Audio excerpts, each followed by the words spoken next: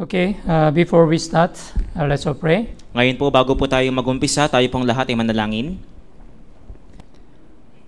Holy and gracious our Heavenly Father, who created the heavens and the earth, thank you so much for your grace and great love. Banal at maha, maha, pagbiyaya naming amang Diyos na lumikha na langit at lupa, maraming salamat po sa pag-ibig at biyaya na ibinigay mo sa amin.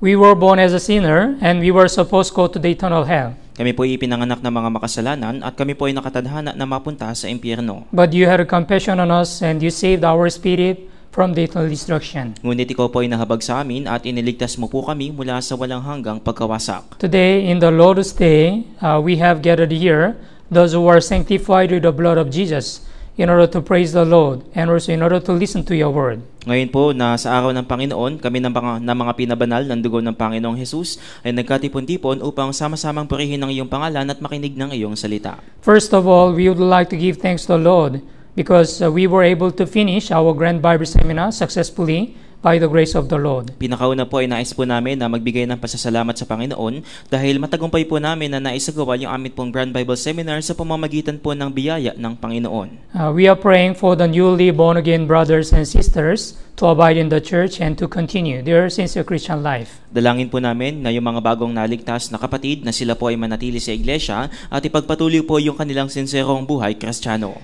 And also, we know uh, we are in the difficult situation because of the continuous uh, pandemic. At alam po namin na kami po ay nasa patuloy na kahirapan dahil po sa pagpapatuloy ng pandemya.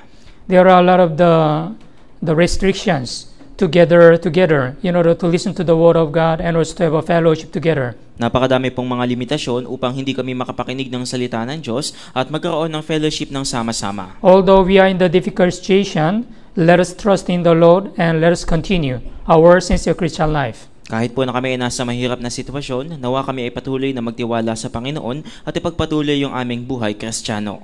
In this day also, uh, please give us uh, more wisdom and strength through the word of God. Sa araw din po na ito, pakiusap, bigyan mo po kami ng karunungan sa pamamagitan po ng salita ng Diyos. And also, please teach us how to live as a born-again Christian. At pakiusap, turuan mo po kami kung paano kami dapat mabuhay bilang mga born-again Christian. We know there are also the many brothers and sisters who are not able to join this uh, Sunday sermon. Alam po namin na mayroon pong mga ibang mga brothers and sisters yung hindi po nakadalo sa Sunday sermon na ito. Wherever they are staying now, whatever they are doing now, uh, please let them continue their sincere Christian life. Nasaan man po sila, ano man po yung kanilang ginagawa, nawa ay maipagpatuloy po nila yung kanila pong senserong buhay kristyano. From the beginning of this Sunday sermon to the end, the Holy Spirit is with us and guide us. Mula po sa umpisa ng Sunday sermon na ito hanggang sa matapos, ang banal na Espiritu nawa ang tumulong at kumilos sa amin. We pray in Jesus' name. Kami po'y nananalangin sa pangalan ni Jesus. Amen. Amen.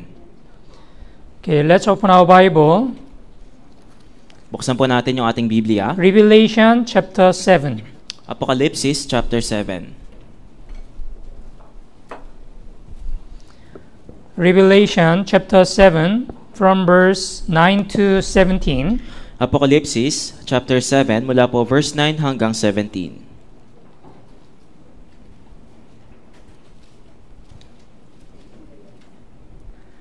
Apocalypse, Revelation chapter 7 from verse 9 to verse 17. Babasahin ko po. Pagkatapos ng mga bagay na ito ay tumingin ako at naroon ang mga napakaraming tao na di mabilang ng sinuman mula sa bawat bansa sa lahat ng mga lipi, mga bayan at mga wika na nakatayo sa harapan ng trono at sa harapan ng kordero na nakasuot ng mapu- mapuputing damit at may mga sanga ng palma sa kanilang mga kamay at nagsisigawan ng may malakas na tinig na nagsasabi, ang pagliligtas ay sa aming Diyos na nakaupo sa trono at sa kordero. At ang lahat ng mga anghel ay tumayo sa palibot ng trono at ng matatanda at ng apat na nilalang na buhay at sila ay nagpatira pa sa harapan ng trono at sumamba sa Diyos na nagsasabi, Amen, ang pagpapala, kaliwalatian, karunungan, pasasalamat, karangalan, kapangyarihan at kalakasan ay sa aming Diyos magpakailan paman. Amen. At sumagot ang isa sa matatanda na nagsasabi sa akin, ang mga ito na may suot ng mapuputing, mapuputing damit, sino ba sila at saan sila nanggaling? Sino, ah, sinabi ko sa kanya, Ginoo, ikaw ang nakakaalam, at sinabi niya sa akin, ang mga ito ang mga nanggaling sa malaking kapighatian at naghugas ng kanilang mga damit at pinaputi ang mga ito sa dugo ng kordero, kaya't sila ay nasa harapan ng trono ng Diyos na naglilingkod sa kanya araw at gabi sa kanyang templo, at siyang nakaupo sa trono ay kakanlungan sila, sila'y hindi na magugutom pa, ni mauuhaw man, ni hindi na sila tatam ah, tatamaan ng araw o ng anumang nakakapasong init sapagkat ang kordero na nasa gitna ng trono ay siyang magiging pastol nila at sila'y papatnubayan patungo sa mga bukal ng tubig ng buhay at papahiran ng Diyos ang bawat luha sa kanilang mga mata. Okay, so today uh, we are going to think about uh, this passage according to the Revelation chapter 7. Ngayon po ay pag-iisipan po natin yung mga talata na ito mula po sa Apocalypse chapter 7. Yeah, especially the verse 9 those who clothed with white robes. Lalo-lalo na po yung mga tao na dinamitan ng puting balabal. As you know well, the first book of the Bible is Genesis, and the last book of the Bible is Revelation. Gaya po ng ating alam, yung pinakaunang aklat po sa Biblia ay ang Genesis at ang pinakahuling aklat naman ay ang Apocalypse. So we can say these two books, the Genesis and the Revelation, this is uh, also a very important uh, Bibles. Kaya masasabi po natin, yung dalawang aklat po na ito, yung Genesis at Apocalypse, napakahalaga po nito sa Biblia. When you read the Genesis, uh, you may know how God created all these things. That's why Genesis chapter 1 verse 1 says, In the beginning God created the heavens and the earth. Gaya nga po ng sinabi sa aklat po ng Genesis, nang pasimula ay nilikha ng Diyos ang langit at ang lupa. And if you look at the last book of the Revelation, there is the eternal heaven. So the Bible says, uh, Revelation chapter 21, verse 1, uh, and now I saw the new heaven and new earth.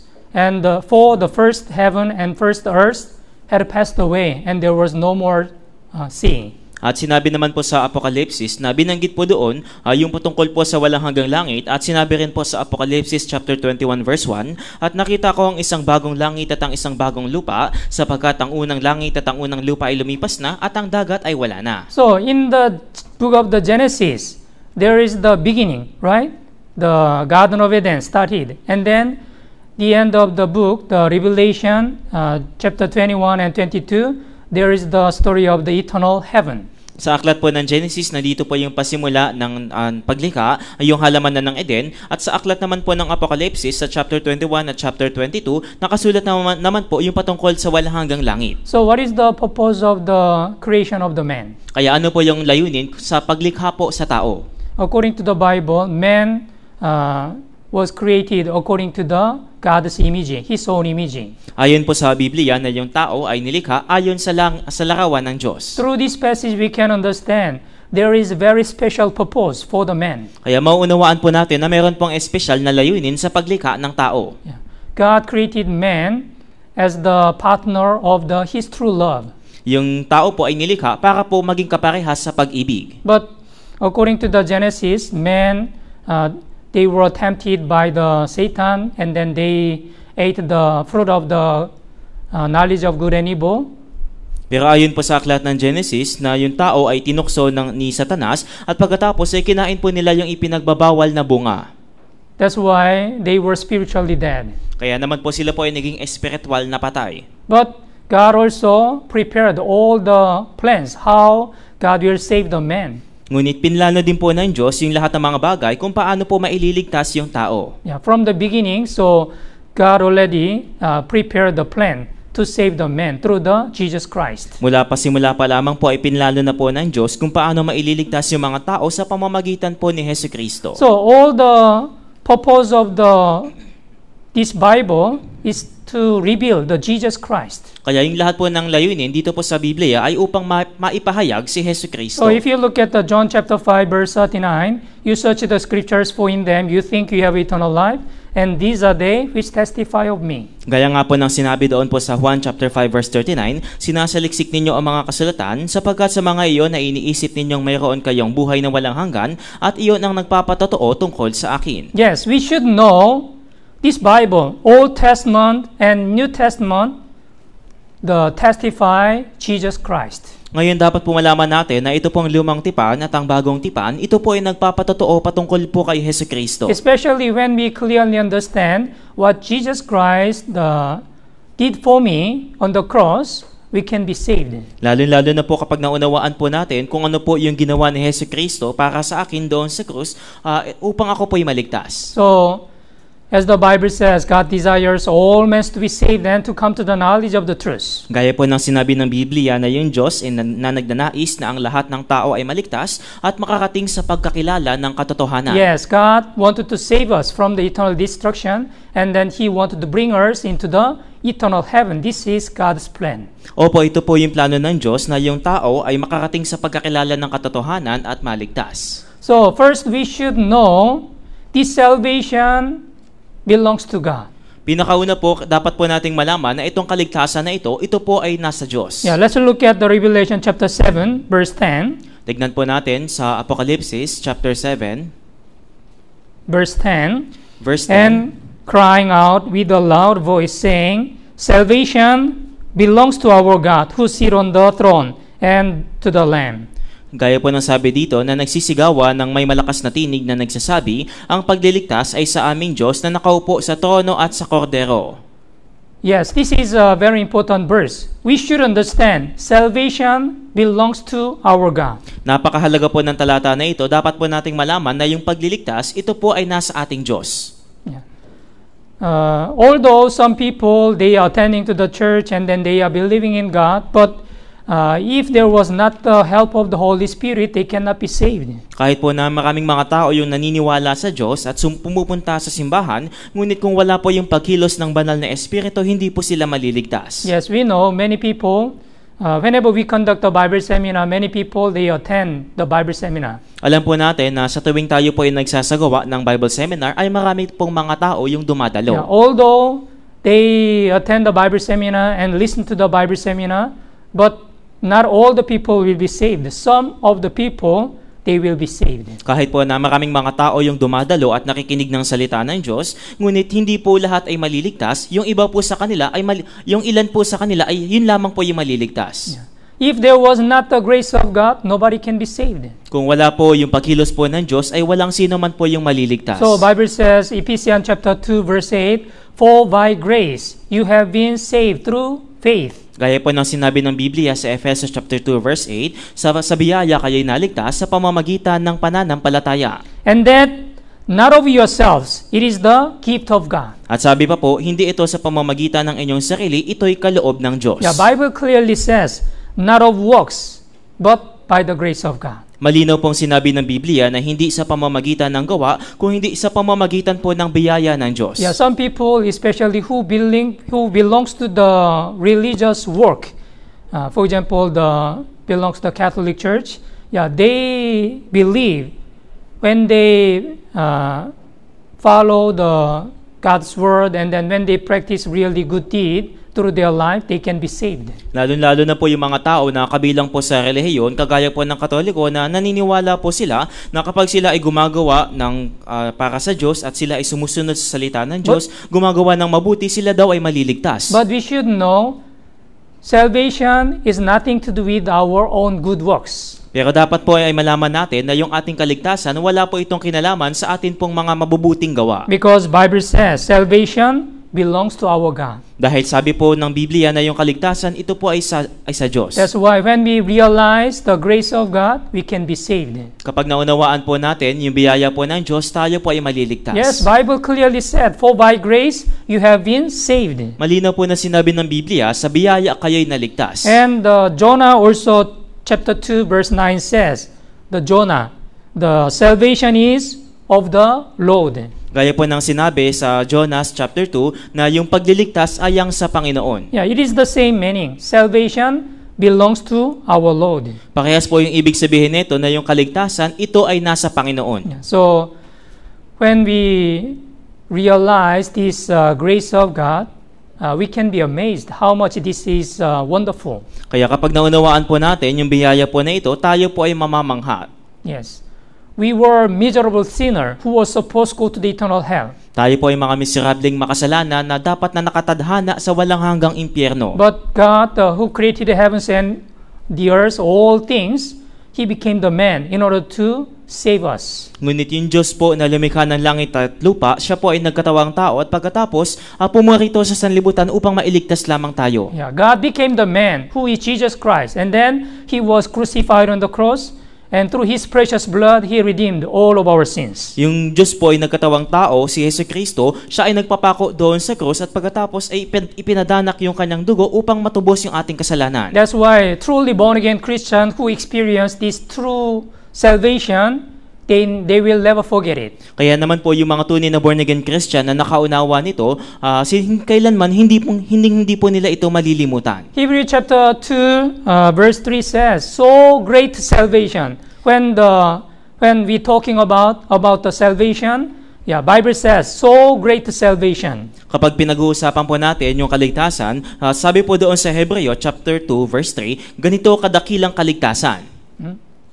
Do you agree? Kayo po ba ay sumasang-ayon? Yes. If you wanna save, you were supposed to receive the judgment, and Kap- then you were supposed to go to the eternal hell. Kapag hindi ka naligtas, ikaw ay tatanggap ng walang hanggang kahatulan at kapag ah, ikaw ay naligtas, ikaw ay makakaligtas sa impyerno. That's why, as a born again Christian, we shall never forget uh, this uh, great salvation and then grace of the Lord. Kaya bilang mga tunay na born again Christian, kailanman ay hindi po natin malilimutan yung biyaya na ito, yung biyayang ibinigay ng Panginoon. Okay, let's look at the Bible. Revelation chapter 7, Balikan po natin sa Apocalypse chapter 7, verse 9. verse 9. After these things I looked, and then behold, a great multitude which no one could number of all nation, tribe, people, and then uh, tongues, standing before the throne and before the Lamb, clothed with white robes, with palm uh, branches in their hands. Pagkatapos ng mga bagay na ito ay tumingin ako at naroon ang napakaraming tao na di mabilang ng sinuman mula sa bawat bansa sa lahat ng mga lipi, mga bayan at mga wika na nakatayo sa harapan ng trono, sa harapan ng kordero na nakasuot ng mapuputing damit at may mga sanga ng palma sa kanilang mga kamay. Who is this who clothed with white robes? Sino po yung mga ito? Yung mga tao, yung mga nakasuot ng ah, mapuputing damit. They are truly born again Christian. Sila po yung mga tunay na born again Christian. Yeah, there is the exact e- explanation. If you look at verse 14 again, verse 14, Meron pong magandang halimbawa sa verse 14. and I said to him, Sir, you know. So he said to me, uh, These are the one who comes out of the great tribulation and washed their robes and then made them white in the blood of the Lamb. At sinabi niya sa akin, ang mga ito ang mga ang nanggaling sa malalaking kapi, malaking kapigatian at naghugas ng kanilang mga damit at pinaputi ang mga ito sa dugo ng kordero. Yeah, th- those who clothed with the white lobes, these white lobes is prepared, uh, made them white in the blood of the Lamb. Yung mga nakasuot ng mapuputing damit, sila po yung mga ah, pinaputi yung kanilang damit sa pamamagitan po ng dugo ng kordero. Yes. All of their sins were forgiven through the blood of Jesus. That's why now that they are wearing the white robes. Yung lahat po ng kanilang kasalanan ay pinatawad na sa pamamagitan po ni Hesus Kristo, kaya naman sila po ay nakasuot ng puting damit. In the Bible also, there are so many parables about the cloth and or garments. Sa Biblia po, napakadami din pong mga talinhaga patungkol po ah, sa damit at sa mga ah, mapuputing kasuotan. In the Genesis also, right? When the Adam and Eve, they ate the fruit of the knowledge of good and evil, they came to know they are naked.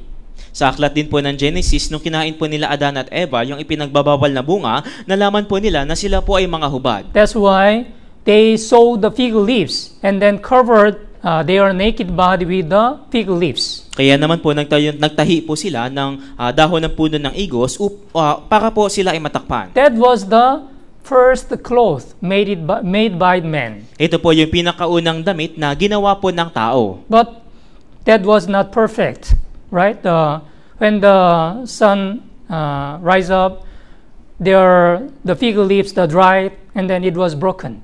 Ngunit hindi po ito perpekto dahil kapag tumirik na po yung araw, ah, kapag na, na kapag naarawan yung dahon, ito po ay matutuyo at maaalis. Although they covered their naked body, the Adam and Eve, when God called them, they said, "I am naked. That's why I hide myself." Kahit po na tinakpan nila yung kanila pong kahubaran, ngunit nung tinago nung ah, tinawag po sila ng Diyos, sinabi po nila na ako ay natakot sapagkat ako ay hubad. Yes, they were not able to appear before God with this kind of the cloth. Hindi po nila nagawa na humarap sa Diyos sa pamamagitan po ah, ng kasuotan na ito. Yeah. So we should know when we realize we are really uh, naked, yeah, we will come out to God and then the we will ask the God's mercy. Kapag naunawa, tunay po na naunawaan natin na tayo po ay hubad, tayo po ay lalapit sa, sa, sa Diyos at pagkatapos tayo po ay hihingi ng awa. So we should know this the fig leaves is like uh, the man's effort or our good the our righteousness. Kaya kinakailangan malaman po natin na ito pong dahon ng puno ng igos, ito po ay tumutukoy sa atin pong pagsisikap sa ka- katwiran ng tao. Let's open the Bible, Isaiah chapter 64. Tignan po natin sa Isaías chapter 64.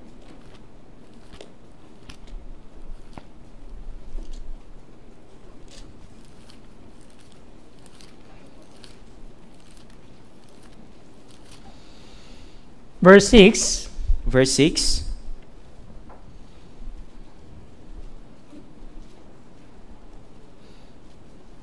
Isaiah chapter 64, verse 6. Isaías Basahin po natin, sabay-sabay. 3 to 1. Kaming lahat ay naging gaya ng isang marumi at ang lahat naming katwiran ay naging parang maruming kasuotan. Kaming lahat ay nalalantang gaya ng dahon at tinatangay kami ng aming mga kasamaan na parang hangin at walang Yeah. and all our righteousness are like a filthy rags.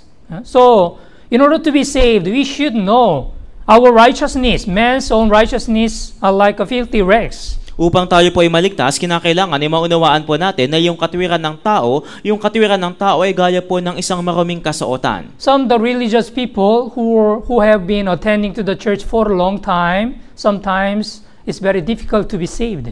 Yung mga taong relihiyoso po, kadalasan po, sila po yung mga tao na napakahirap pong maligtas. Why? Bakit po? Because they are trying to rely on their own righteousness. Dahil sinusubukan po nila na umasa sa kanila pong sariling katwiran. Yeah, I gave the, a lot of the offering to the church, and also I helped uh, a lot of difficult people, and also I attended the church already uh, 20 years. Ako ay nagbibigay ng ikapo, nagbibigay ako ng ah, offering, at pagkatapos ay tumutulong ako sa mga mahihirap, at ah, nasa 20 years na ako sa simbahan. And I didn't do any bad things for others. At hindi po ako gumawa ng anumang masama sa ibang tao. That's why he thought he's the righteous. Kaya naman iniisip niya na siya ay matuwid. But as we already know, according to the Luke chapter 18, through the parable of the Pharisee and the prayer of the Pharisee and tax collector, Ngunit nalaman po natin doon po sa Lucas chapter 18 sa, pamamag- sa pamamagitan po ng panalangin ng Fariseo at ng maniningil ng buwis. Pharisee, he was not able to be justified by God through his prayer Yung Fariseo po, siya po ay hindi inaring ganap sa pamamagitan po ng kanyang panalangin. because he was trying to rely on his own righteousness. Dahil sinusubukan po niyang umasa sa kanya pong sariling katwiran. But tax collector, he knew his sin. That's why he just beat his breast and then said, God, have mercy on me. I'm a sinner. Ngunit yung maniningil po ng buwis, alam po niya na siya po ay makasalanan, kaya dinadagukan po niya yung kanyang dibdib at hindi siya makatingin sa langit. Sinabi po niya, ah, O Diyos, mahabag ka sa akin na isang makasalanan. Yeah, those who realize the his the his sin and then confess to God, yeah, uh, he can be saved. Yung mga naunawaan na sila ay makasalanan at sila ay nagpahayag sa Diyos, sila po ay maliligtas. We should know before we get salvation. Uh, also, uh, we were clothed with the filthy garments. Alam po natin na bago po tayo nagkaroon ng kaligtasan, tayo po ay nakasuot ng maraming kasuotan. Let's open the Bible, Zechariah chapter 3. Tignan po natin sa Zacarias chapter 3.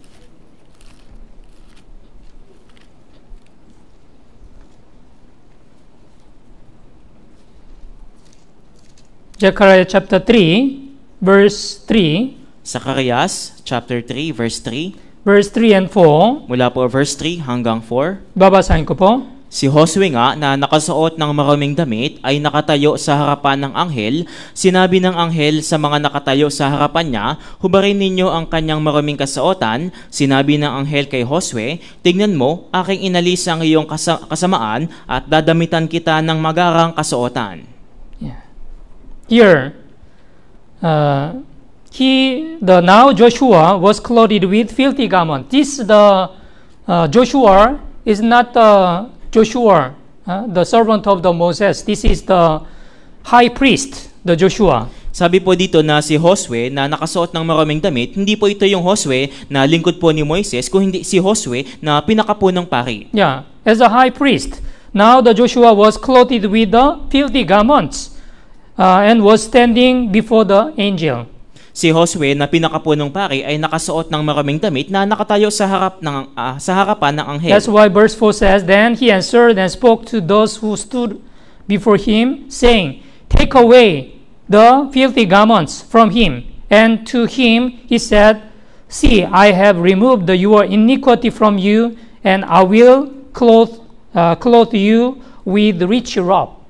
Sabi po sa verse 4, sinabi ng anghel sa mga nakatayo sa harapan niya, hubarin ninyo ang kanyang maraming kasuotan. Sinabi ng anghel kay Josue, tignan mo, aking inalis ang iyong kasamaan at dadamitan kita ng magarang kasuotan. Yeah. So God commanded the angel to remove the his clothes, uh, which is the iniquity or filthy garments. Kaya yung Diyos po, inutusan po yung anghel na alisin po yung kanyang maraming kasuotan. Ito po yung kanyang kasamaan o yung maraming kasuotan. And I will clothe you with the rich robes, which is the new garments. At pagkatapos ay dadamitan kita ng magarang kasuotan, bagong kasuotan. Yeah, in the Garden of Eden also, right? When the Adam and Eve, at the first time, they covered with the sewed the fig leaves, but uh, God made the tunics of skin for Adam and Eve. Sa halamanan po ng Eden, nagtahi po ng, dahon ng, ah, puno, dahon ng puno ng igo, sina Adan at Eva upang pagtakpan yung kanilang kahubaran. Ngunit yung Diyos naghanda po ng isang ah, dam, ah, kasuotang balat para po sila ay damitan. Yes, we should know this garment is the uh, garment of salvation. Kinakailangan ay malaman po natin na yung damit po na ito, ito po yung damit ng kaligtasan. Yeah, it's already appeared in the Genesis chapter 3. Yeah, God prepared the tunics of skin. Yeah, this is the uh, garment of salvation. Ito po ay naipakita na po sa Genesis chapter 3, yung kasuotang balat, ito po yung damit ng kaligtasan. And if you look at the Revelation, yeah, chapter 7, uh, the Bible says, white robes, who clothed with the white, white robes. It means uh, who became the born again Christian and then washed his sins uh, by the blood of Jesus. That's why they, they are wearing the white gloves. At sinabi naman po sa Apocalypse chapter 7 na tumutukoy po ah, sa mga nakasuot ng mapuputing damit. Ito po yung mga tunay na born again Christian na hinugasan po yung lahat ng kanilang mga kasalanan sa pamamagitan po ng dugo ni Hesus Kristo kaya nakasuot sila ng maputing damit. Isaiah chapter 61. Tignan po natin sa Isaías chapter 61.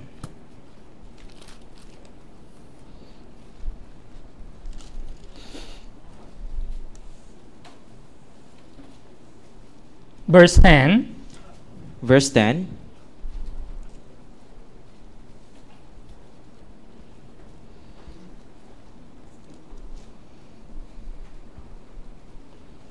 Isaiah chapter 61 verse 10 okay basahin po natin sabay-sabay 3 to 1. Ako'y magagalak na mabuti sa Panginoon, ang aking buong pagkatao ay magagalak sa aking Diyos, sapagkat binihisan niya ako ng mga damit ng kaligtasan, kanyang tinakpan ako ng balabal ng katwiran, gaya ng lalaking ikakasal na ginagayakan ng sarili ng palamuting bulaklak, at gaya ng babaeng ikakasal na nagagayakan ng kanyang mga hiyas. yeah garments of salvation Hmm? so for a man yeah we know there are three kind of the important things right number one the cloth and then food and the house Alam po natin na para po sa tao, meron pong tatlong mahalagang mga bagay ang kinakailangan. Pinakauna po yung damit at pagkatapos yung pagkain at sumunod naman po bahay. yes this is the basic three important things for the humans the life Ito po yung pangunahing importante na mga bagay na kinakailangan para po sa buhay ng tao. That's why there are also so many the parables about the cloth. Kaya nga po napakadami din pong mga talinhaga patungkol po sa damit. Yeah. So especially here, uh, Isaiah chapter 61, verse 10. For he has clothed me with the garments of salvation. He has uh, covered me with the robes of the righteousness. Sabi po dito, sapagkat binihisan niya ako ng mga damit ng kaligtasan, kanyang tinakpan ako ng balabal ng katwiran. So we can also understand these white robes, the garments of salvation, and also garments of the righteousness. Kaya dapat po na maunawaan po natin na ito pong ma- mapuputing damit, ito rin po ah, yung da- damit ng kaligtasan. If you look at uh, Matthew chapter 22, there is the another parable.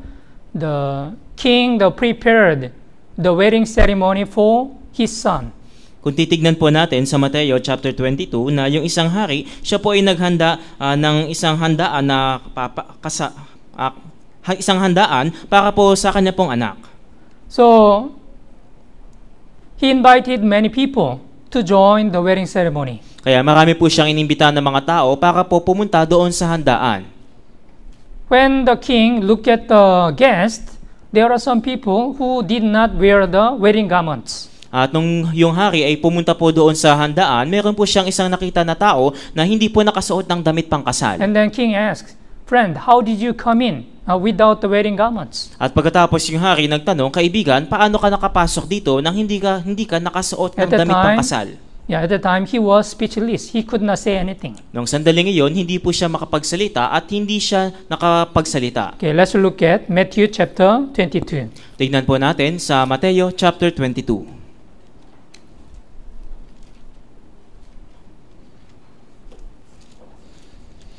Verse 11, Verse 11, 11 and 12.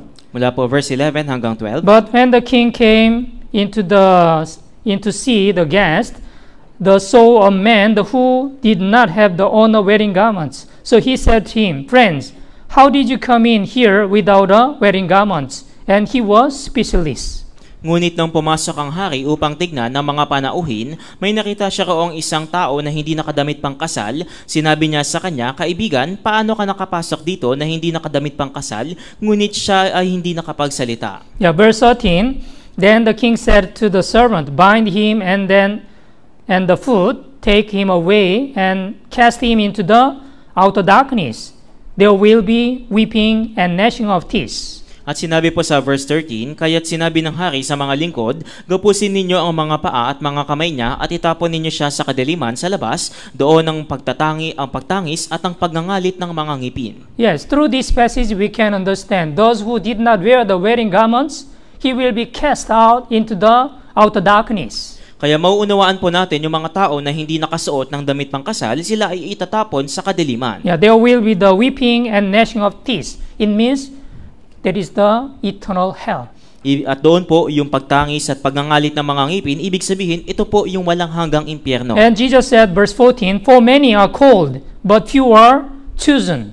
At sinabi po ni Jesus, sapagkat marami ang tinawag, ngunit kakaunti ang pinili. Yes, we should know, as the Jesus said, Matthew chapter 7, verse 21, not everyone who says to uh, who says me, Lord, Lord, shall enter the kingdom of heaven. Dapat ay malaman po natin na sinabi po ni Jesus doon po sa Mateo chapter 7 verse 21 na hindi lahat ng nagsasabi sa akin Panginoon, Panginoon ay papasok sa kaharian ng langit. Although many people they are believing in God and then they are attending to the church, but there are also many people who are not really saved.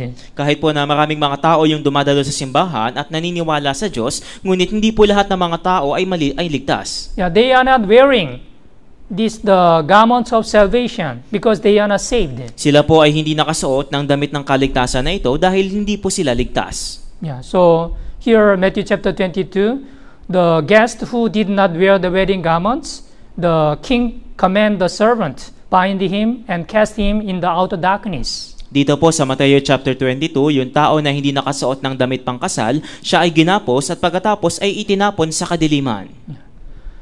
And also, if you look at uh, another Bible, yeah, if you look at Deuteronomy chapter 22, let's open the Bible, Deuteronomy chapter 22. Tignan din po natin sa Deuteronomio chapter 22.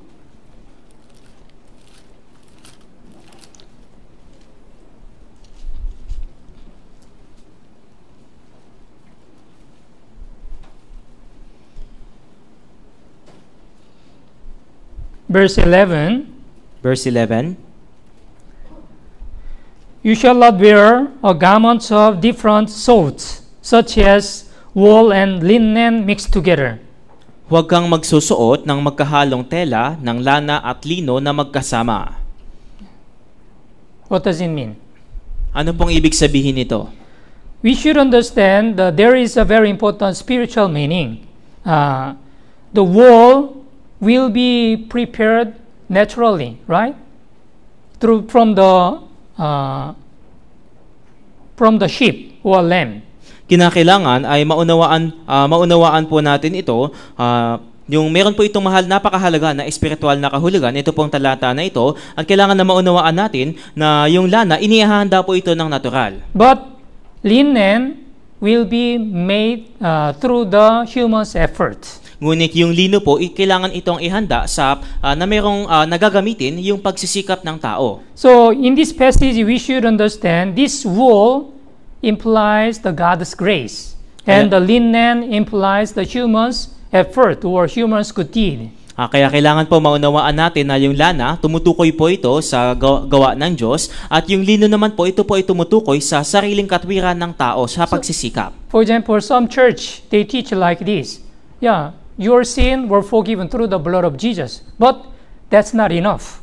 You also uh, should follow the Ten Commandment. You should keep the Ten Commandment, and also you should do a lot of the good works, and then you can be saved. Halimbawa po, yung ibang mga simbahan na itinuturo po nila na iniligtas ka ng, ah, ng Diyos, ngunit hindi lamang po sa hindi lamang ito sapat, kung hindi kinakailangan ay sundin mo rin yung sampung utos at pagkatapos ay gumawa ka ng mabuti upang ikaw ay maligtas. For example, the works of the Jesus 50%, and the, your uh, good works 50%.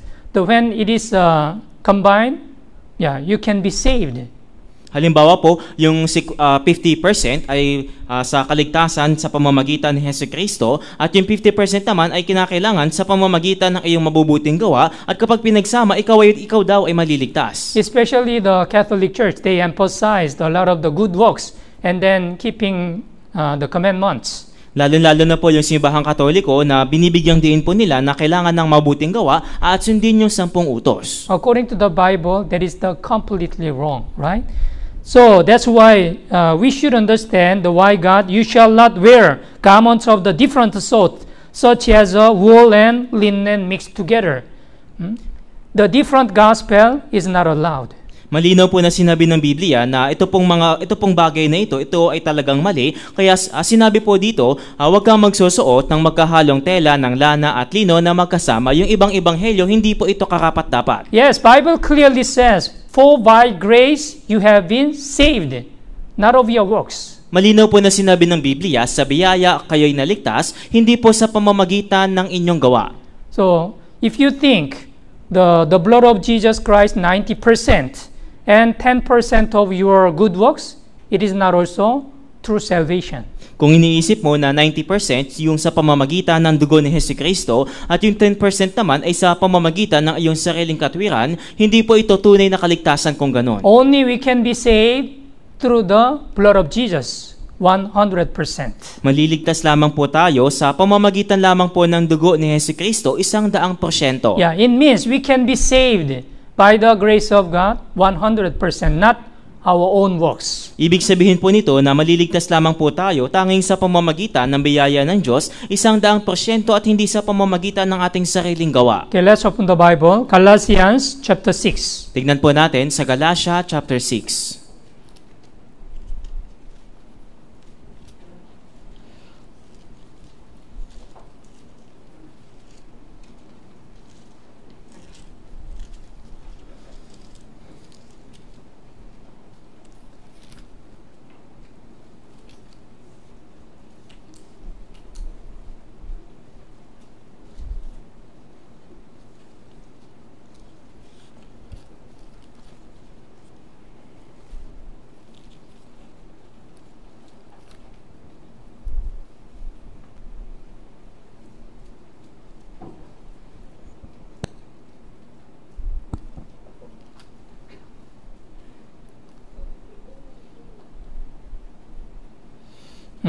Galatians chapter 2, Galatians chapter 2 verse 16.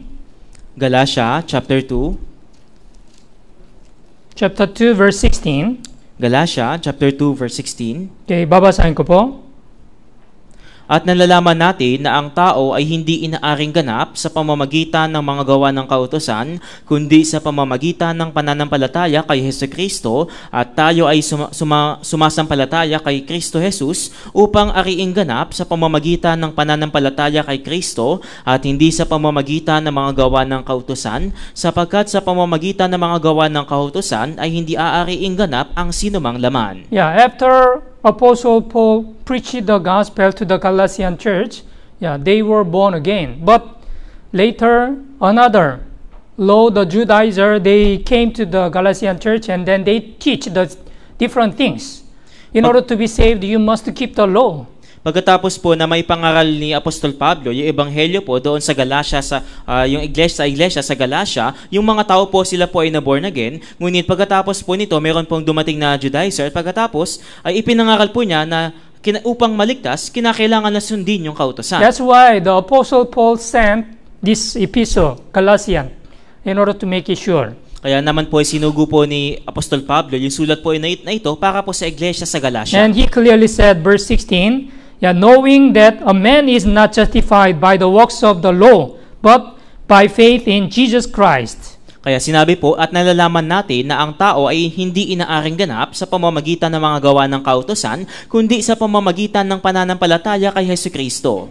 So if the someone who teach the different gospel or wrong teachings, they shall be cursed. Kaya kung sino man yung nang, nangangaral ng iba o ibang ibanghelyo, kung gayon, ah, siya po ay susumpain. Yeah, Galatians chapter 1, verse 8 and 9. Tignan po natin sa Galatia, Chapter 1, chapter 1 mula po verse 8 hanggang 9. babasahin ko po. Subalit hindi kahit kami o isang anghel mula sa langit ang mangaral sa inyo ng ibang ebanghelyo at sa inyo ng ebanghelyo na iba sa aming ipinangaral sa inyo ay hayaan siyang sumpain gaya ng aming sinabi noong una at muli kong sinasabi ngayon kung ang sino man ay mangaral sa inyo ng, ah, ng ebanghelyo na iba kaysa inyong tinanggap na ha- hayaan siyang sumpain. Yeah, here, if anyone preaches any other gospel to you than the what we have uh, what you have received, let him be cur- accursed. Huh? So, if someone preach the different gospel or different the doctrine uh, from the Bible, they shall be cursed. Kung sino man yung mangaral ng ibang ebanghelyo o ibang katuroan, kung gayon hay- ay hayaan siyang sumpain. Okay, let's go back to the Revelation chapter 7 again. Balikan po natin yung Apocalypse chapter 7.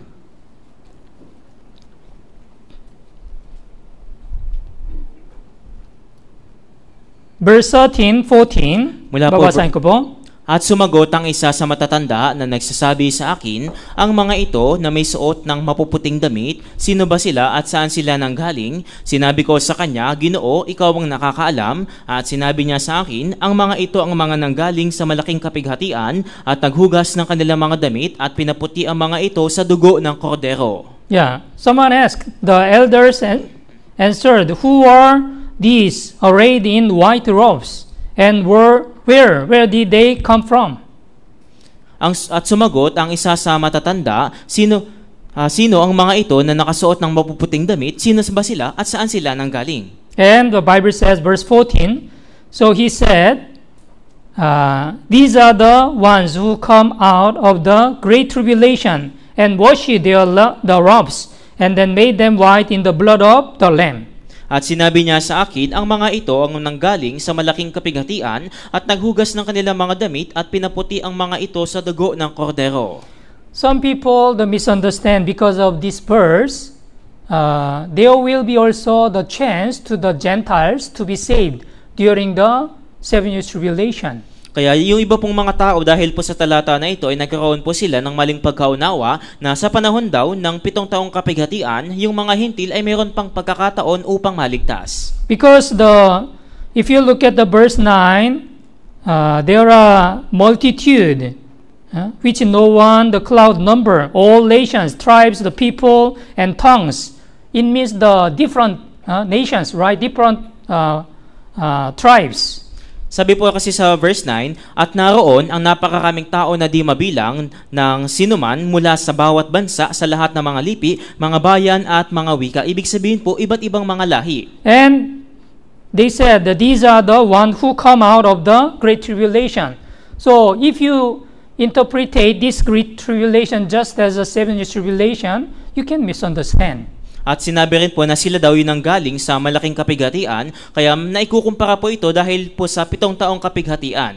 But we should know uh, during the seven year tribulation, as the Bible says, the Revelation chapter 7, only the Jewish people, the, there is the exact number 144,000 Jewish people can be saved. Ngunit kailangan po ay malaman po natin ito na tumutukoy lamang po ito sa mga ah, tumutukoy po ito sa mga Hudyo at meron po silang eksaktong bilang na nasa 144,000 na maliligtas na mga Hudyo. Okay, chapter 7, verse 4. Sabi po sa chapter 7 verse 4, Babasahin ko po. At narinig ko ang bilang ng mga tinatakan, 144,000 tinatakan mula sa bawat lipi ng mga anak ni Israel. Yeah. It is only the number. huh? Children of Israel, not other Gentiles. Sabi po na yung kanilang bilang na yung mga Hudyo, ah, sila po ay 144,000 at hindi mga hintil. So there are 12 tribes huh, to the Israelites. So each tribe, the 20,000. So 12 the 12s, 12 tribes. So total 144,000 will be saved during the seven year tribulation. Yung Israel po, meron po silang labindalawang lipi at bawat lipi, ito po ay nasa 20,000 at yung 144,000 po silang lahat-lahat at lahat po sila ay nanggaling po sa Israel na sa panahon po ito ng pitong taong kapighatian. From the verse 9, there are great multitude, huh, which no one the, the could number, and then of the all nation, tribe, people, and then tongues. It means the all the born again Christians huh, in different ages. uh, At sabi po sa verse 9, At naroon ang napakaraming tao na di mabilang ng sinuman mula sa bawat bansa, sa, bawa, sa lahat ng mga lipi, mga bayan at mga wika. Ibig sabihin po nito, tumutukoy po ito sa lahat ng mga tunay na born-again Christian na nanggaling sa lahat ng mga panahon at iba't ibang mga lahi. yes, we know the born again Christians. Since we got the salvation, they received a lot of the difficulties, and also they experienced the tribulation. Alam po natin na mga, yung mga tunay na born-again Christian ay nanggaling po sa maraming mga kahirapan, suliranin at kapighatian. especially uh, in the early stage of church uh, during the Roman Empire, how many the born again Christians they were martyred. Lalo-lalo na po sa sinaunang iglesia sa panahon pa ng Roma kung gaano karaming mga Kristiyano yung pinatay at naging mga martir. Yes, they experienced the great uh, tribulation. Naranasan po nila yung dakilang kapig, ah, yung napakalaking kapighatian. Let's open the Bible, Act chapter 14. Tignan po natin sa Gawa chapter 14.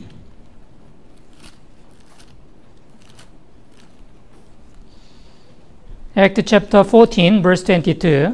Sa Gawa chapter 14 verse 22.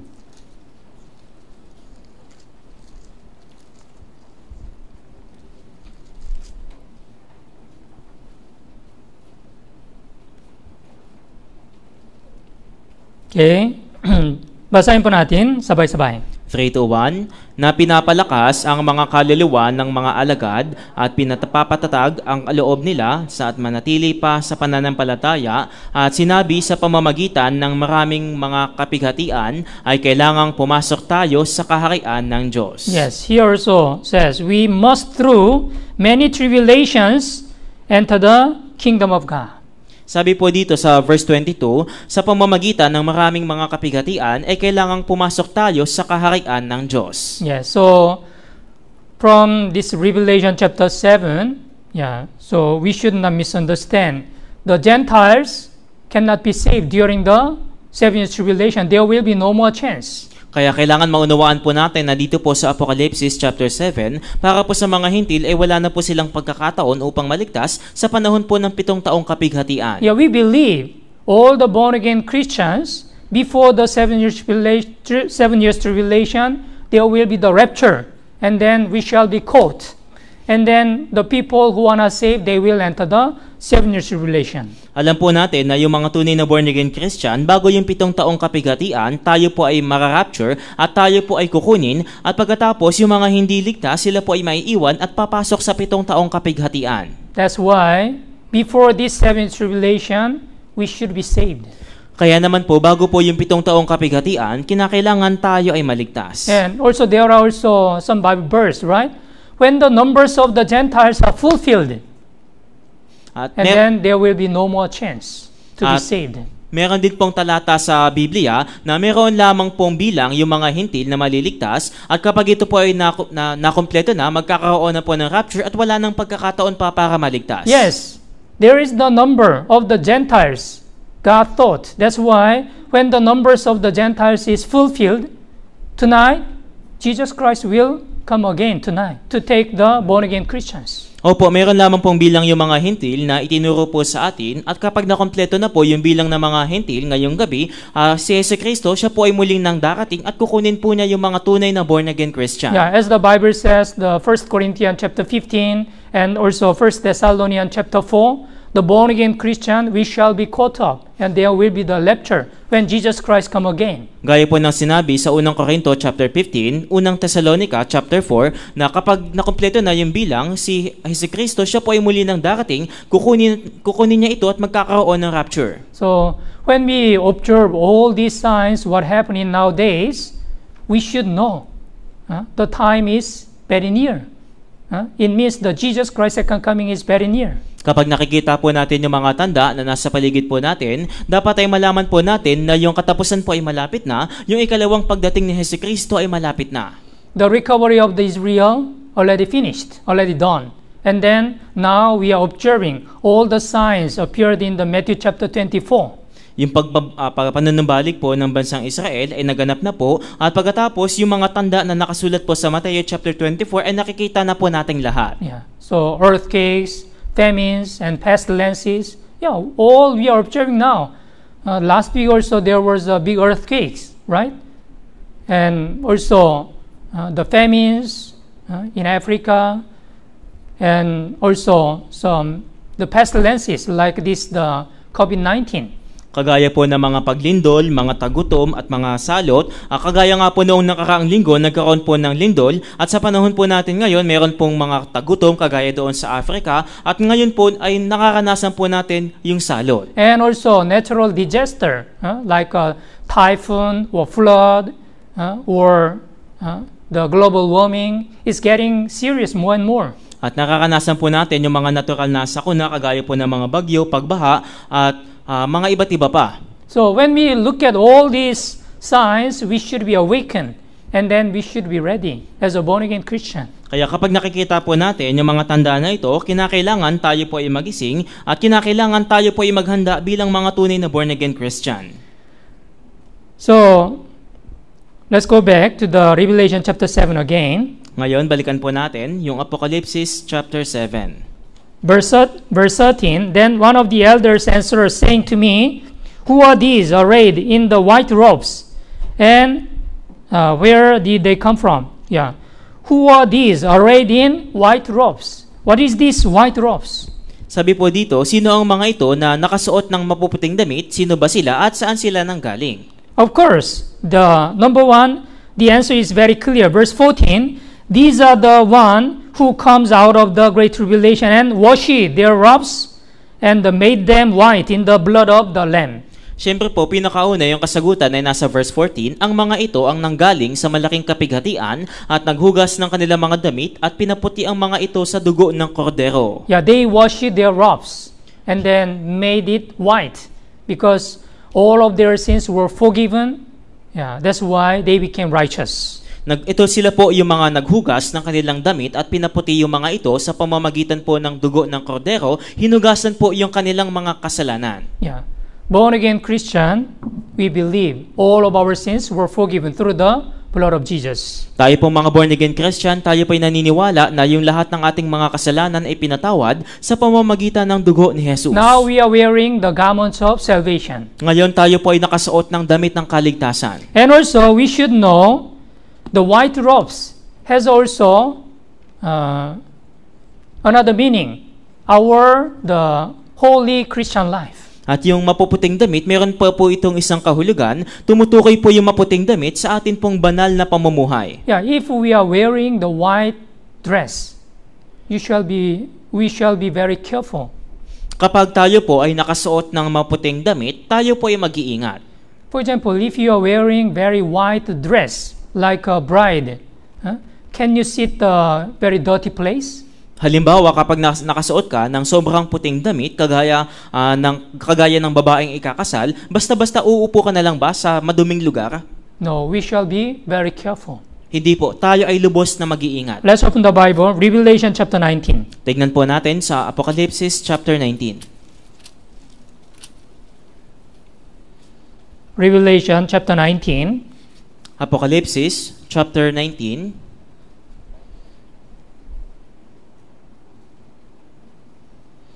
verse 7 and 8.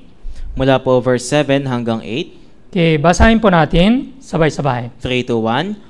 Tayo'y magalak at tayo'y magpakasaya at ibigay natin sa Kanya ang kaluwalhatian sapagkat dumating na ang kasal ng kordero at inihanda na ang kanyang magiging asawa, ang kanyang sarili, at sa Kanya'y ipinagkaloob na magsuot ng pinong lino, makintab at malinis sapagkat ang pinong lino ay ang matutuwid na gawa ng mga banal. Yes, we should the we know uh, Jesus Christ is like a groom, and then church is his bride. Alam po natin na si Jesu Kristo, siya po, siya po yung lalaking ikakasal at yung church naman po, ito yung babaeng ikakasal. All the born again Christian, uh, we are the church, right? The church is the gathering of the truly born again Christian, Yung mga tunay na born again Christian, tayo po yung church. and church is the bride of the Christ. At yung church naman po, ito po yung babaeng ikakasal kay Kristo. That's why we are like who is waiting for the wedding ceremony. Kaya naman tayo po yung ah, kagaya ng mga naghihintay para po sa kasal. Yeah, verse 7 Let us be glad and rejoice and give him glory, for the marriage for the Lamb has come. Huh? So, the marriage of the Lamb has come. It's very near, this marriage. Sabi po, wedding ceremony is ready. Sabi po dito, tayo'y magalak at tayo'y magpakasaya at ibigay natin sa Kanya ang kaliwalatian sapagkat dumating na ang kasal ng kordero. Yung kasal ng kordero ay malapit nang dumating. Yeah, in case of the bride huh, uh, who will have a wedding ceremony, yeah, she will be very careful as a bride. Para po sa babaeng ikakasal na nakasuot ng puting damit, siya po ay lubos na mag-iingat bilang isang babaeng ikakasal. So, verse 8 And to her it was uh, granted to be arrayed fine linen, clean and bright, for the fine linen is the righteous act of the saints. Sabi sa verse 8, At sa kanya ay ipinagkaloob na magsuot ng pinong-pinong lino, makintab at malinis, sapagkat ang pinong lino ay ang matutuwid na gawa ng mga banal. So, we can understand this fine linen indicate the righteous act of the saints. Kaya dapat malaman po natin na itong pinong lino, tumutukoy po ito sa matutuwid na gawa ng mga banal. Yeah. White robes, in other words, this is also fine linen. Like fine linen also has a very white color, very bright. Ibig sabihin po nito na yung maputing damit, tumutukoy din po ito sa pinong lino dahil yung pinong lino, ito po ay malinis at makintab. Our born again Christians, since we get the salvation, we should be separated from the sin. Bilang mga tunay na born again Christian, pagkatapos po ng kaligtasan, kinakailangan tayo po ay magkaroon ng pagkahiwalay sa kasalanan. We cannot be called as a born again Christian uh, only as the name. Hindi po tayo maaaring tawagin na bil, ah, born again Christian nang sa pangalan lamang. For example, you can have a testimony. I became the born again Christian because I believe in the gospel. Halimbawa, magpapatotoo ka, ako ay na born again, ako ay naging isang born again Christian dahil ako ay sumampalataya sa ebanghelyo. But you're, you're still belongs to so many sinful life. Pero ikaw ay kabilang pa rin sa maraming mga kasalanan.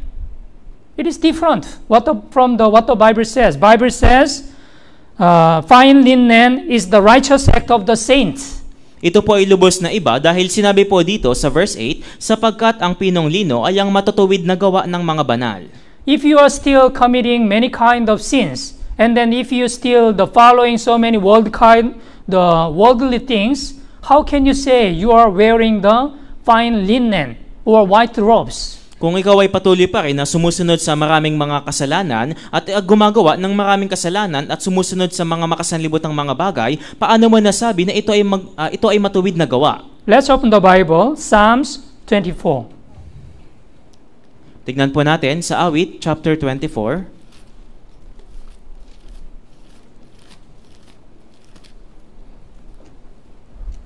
Psalms 24, Awit chapter 24 verse 3 and 4. mula po verse 3 hanggang 4.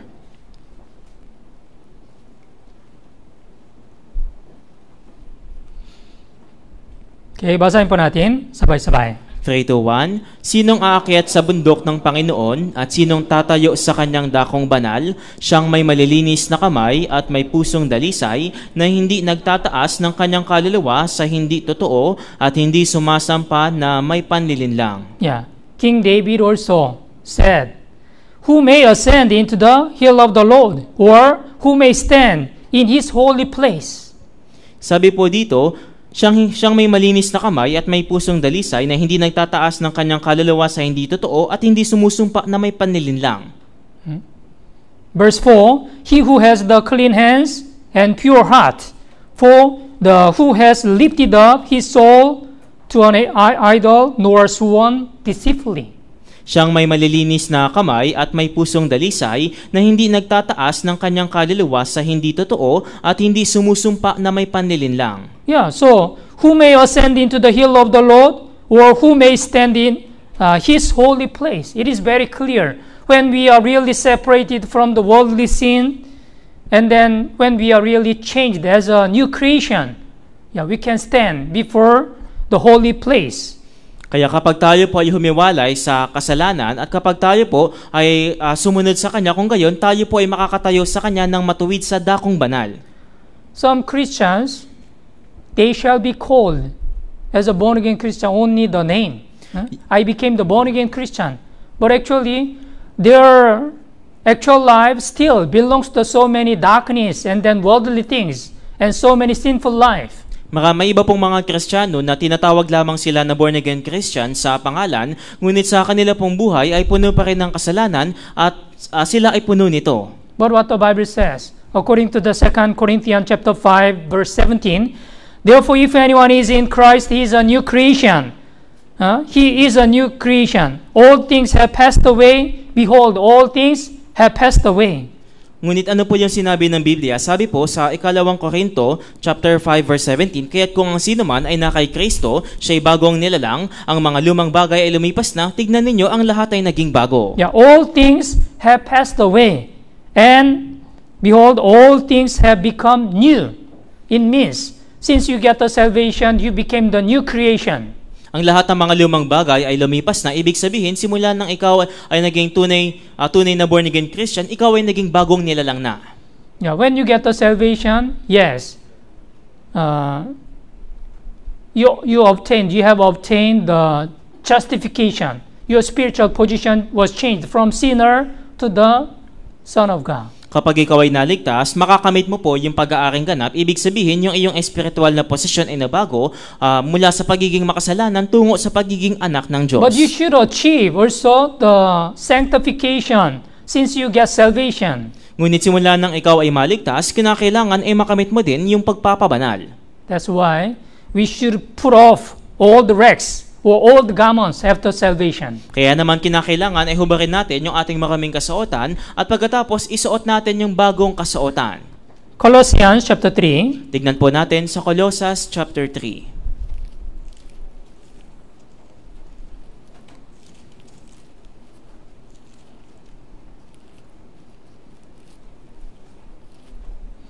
Colossians chapter 3, Colossus chapter 3 from verse 8 to 10. mula po verse 8 hanggang 10. Okay, basahin po natin sabay-sabay. 3 to 1. Ngunit ngayon ay itinakwil ninyo ang lahat ng mga ito, galit, poot, masamang pag-iisip, panlalait, at maraming pananalita mula sa inyong bibig. Huwag kayong magsinungaling sa isa't isa, yamang hinubad na ninyo ang dating pagkatao, pati ang mga gawa nito. Yeah.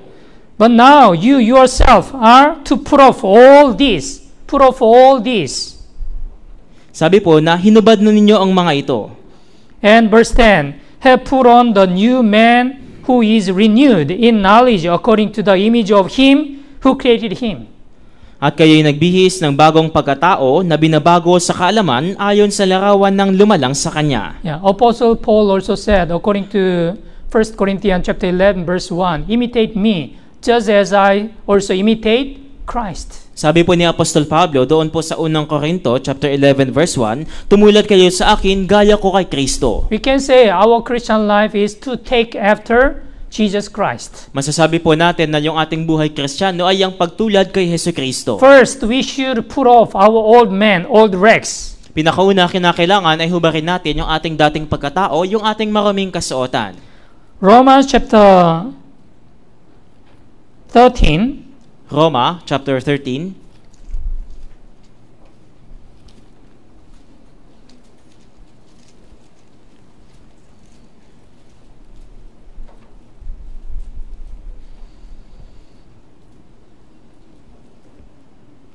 from verse 12 to 14.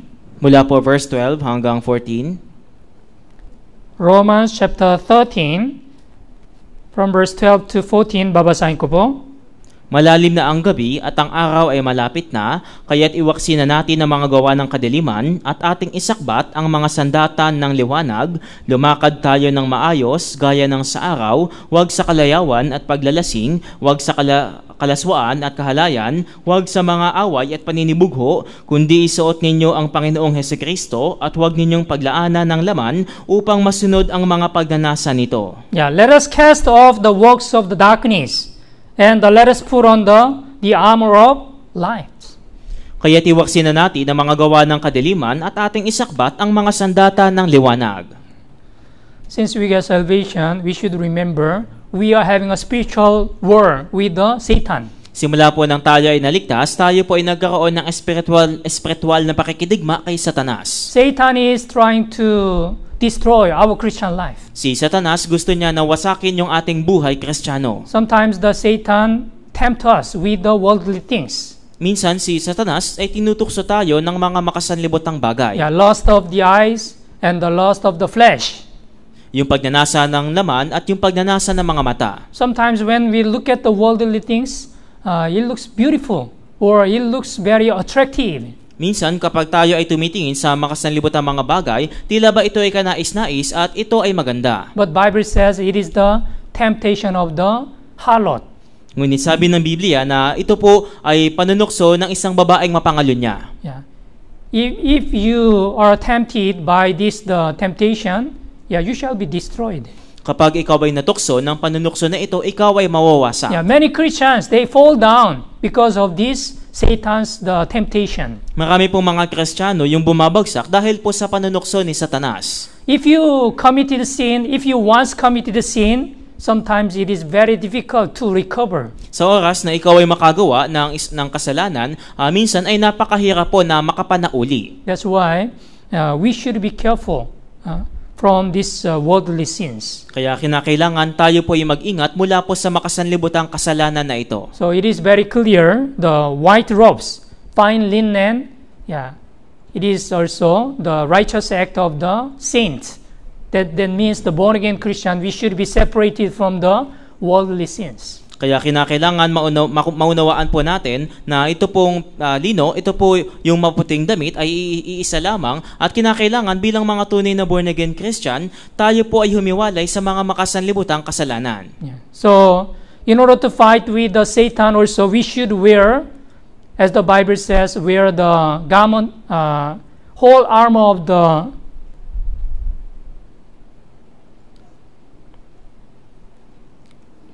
whole armor of God.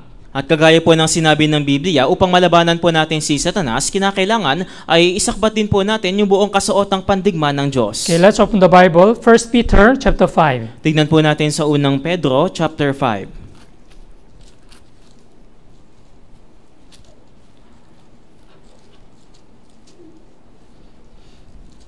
Verse 8. Verse 8, Babasahin ko po. Magpakatino kayo, magbantay kayo, ang Diablo na inyong kaaway ay tulad ng leyong gumagala at umuungal na umahanap ng kanyang malalapa. Yeah, be sober, be vigilant, because your adversary the devil walks uh, about like a roaring lion, seeking whom he may devour. Huh? So hungry lion is looking for some the animal to devour. Yeah, Ye- like this, Satan is also looking for someone who is the Christian. Yung gutom na leon, siya po ay humahanap na hayop na kanyang malalapa at kagaya po nito si Satanas, siya ay humahanap ng Kristiyano na kanyang malalapa. That's why in order to fight uh, with the Satan, we should uh, we should wear whole armor of God. Kaya upang tayo po ay makalaban kay Satanas, kinakailangan ay isuot natin yung buong pandigma ng Diyos. Okay, let's open the Bible, Ephesians chapter 6. Tignan po natin sa Efeso chapter 6.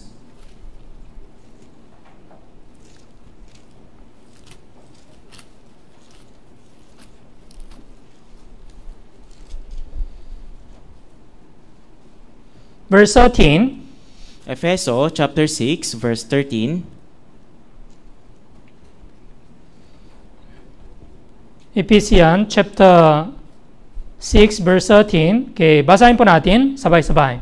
3 to 1. Kaya't kunin ninyo ang buong baluti ng Diyos upang kayo'y makatagal sa araw na masama at kung magawa na ninyo ang lahat ay tumayong matatag. Yeah, therefore, take up the whole armor of God, that you may be able to withstand in the, in the evil day, and having done all to stand. Hmm? So, take up the whole armor of God. We should wear this armor of God in order to fight with the Satan. Kunin at isuot po natin yung buong baluti ng Diyos upang tayo po ay makatagal at tayo po ay makalaban kay Satanas. Verse 11 also says, Put on the whole armor of God, that you may be able to stand against the wares of the, the devil. Sabi po sa verse 11, isuot ninyo ang buong kasuotang pandigma ng Diyos upang kayo'y makatagal laban sa mga pakana ng Diablo. What is this? The whole armor of God. Uh, whole armor of God. Ano po ito? Yung buong kasuotang pandigma ng Diyos. Verse 14, having girded with uh, your waist with truth. Sabi po sa verse 14, kaya tumindig kayo na ang inyong mga baywang ay nabibigisan ng katotohanan. Yeah. Having girded uh, your waist with truth. Nabibigisan ang inyong baywang ng kasuot ng ah, nabibigisan ng katotohanan ang inyong baywang. And number two, having put on the uh, breastplate of righteousness. At pangalawa, nasuot ang baluti ng katwiran. And number three, having shod your feet with the preparation of the gospel of peace. At ikatlo, at nakasuot sa inyong mga paa ang pagiging handa para sa ebanghelyo ng kapayapaan. And taking the shield of faith. At pagkatapos isuot ang kalasag ng pananampalataya. Yeah. And verse 17, take the helmet of salvation. At verse 17, at taglayin ninyo ang helmet ng kaligtasan. Yeah. And uh, the sword of spirit, which is the word of God. At ang tabak ng Espiritu na siyang salita ng Diyos. So when we have all this, the whole armor of God, uh, we can fight with the Satan. Kaya kapag suot po natin yung buong pandigma ng Diyos, tayo po ay makakalaban kay Satanas.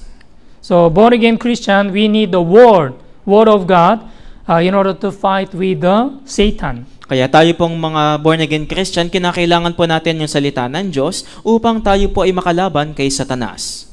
Especially to the born again Christian, uh, we should not forget the four important elements in our Christian life. Number one, the Word of God, and number two, prayer, and number three, the fellowship, and number four, evangelism. Lalo na po sa atin pong mga born-again Christian, ay dapat po wag nating kalimutan yung apat na elemento na mahalaga sa ating buhay kristyano. Una po yung salita ng Diyos, ikalawa yung panalangin, ikatlo fellowship at ikaapat ay evangelism. Okay, today, uh, through this uh, Revelation chapter 7, from verse uh, 9 to 17, especially we learned about who clothed with the white robes. Kaya dito po ngayon sa Apocalypse chapter 7 mula po verse 9 hanggang 17 ay napag-aralan po natin yung mga nakasuot ng mapuputing damit. Especially as a born again Christian, we should not forget we are wearing the white robes, huh, which is washed by the blood of Jesus. Bilang mga born again Christian ay dapat po wag nating kalimutan na tayo po ay nahugasan yung ating mga damit at ito po ah, nakasuot tayo ng mapuputing damit. Yeah, that's a garment of salvation. Ito po yung damit ng kaligtasan. And also, white robes in, the indicate like a fine linen. huh? It means the born again Christians, the righteous act, the which is separated from the worldly sins. At yung mapuputing damit, tumutukoy din po ito sa pinong lino. Ibig sabihin po ng pinong lino ay ang mga matutuwid na gawa ng mga banal, yung magkaroon ng pagkahiwalay sa kasalanan. And after we get salvation, also we should wear the whole armor of God in order to fight with the Satan. At pagkatapos po ng kaligtasan, kinakailangan na isuot po natin yung buong kasuotang pandigma ng Diyos. So I really hope, the, especially newly born again brothers and sisters, to abide in the church and to continue your sincere Christian life. Kaya ako po yung maasa na yung mga bagong naligtas na mga kapatid, sila ay magpapatuloy sa iglesia at ipagpapatuloy po yung kanilang sinserong buhay kristyano. Okay, let's all pray. Tayo pong lahat ay manalangin. Holy and gracious our Heavenly Father God, thank you for giving us this wonderful chance to listen to your word. Banal at mapagbayaya naming Amang Diyos, maraming salamat po sa pagkakataon na ito na ibinigay mo po sa amin na makapakinig po ng salita ng Diyos. Today, uh, through the Revelation chapter 7, we learned about uh, who clothed with the white robes. Ngayon po, sa araw na ito ay natutunan po namin mula po sa Apocalypse chapter 7, yung mga nakasuot ng mapuputing damit. So, as a born again Christian, let us be separated from the worldly sins. Kaya bilang mga tunay na born again Christian, nawa kami po ay humiwalay sa mga makasanlibotang kasalanan. And let us achieve the sanctification through our Christian life. At nawa makamit po namin yung pagpapabanal sa pamamagitan po ng aming buhay kristyano. Whenever we gather together, uh, please sanctify us with your holy word. Sa tuwing kami po ay nagkakatipon-tipon, pakiusap pabanalin mo po kami sa pamamagitan po ng iyong banal na salita. So that uh, we can be used as an instrument of the gospel. Nang sa gayon kami po ay magamit bilang instrumento ng Ebanghelyo. So please protect all of our brothers and sisters from this difficult situation. Kaya pakiusap, protektahan mo po yung lahat ng mga brothers at sisters mula po sa sitwasyon na ito. In the name of our Lord Jesus Christ, we pray. Kami po ay nananalangin sa pangalan ng Panginoong Heso Kristo. Amen. Amen.